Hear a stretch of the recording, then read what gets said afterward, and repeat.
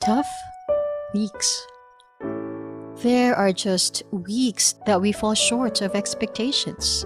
We fail to be the best version of ourselves. We come empty handed. We lose our drive to perform. We just break down and cry. Oh, it was a bad week, alright.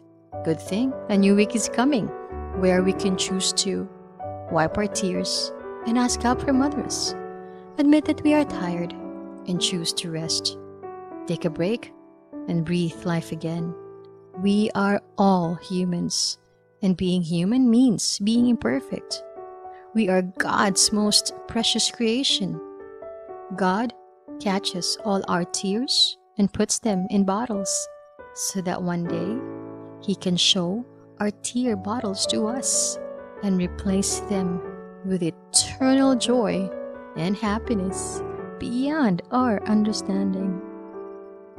Hey there, thanks for listening. I hope you enjoyed the spoken poetry I've just read for you.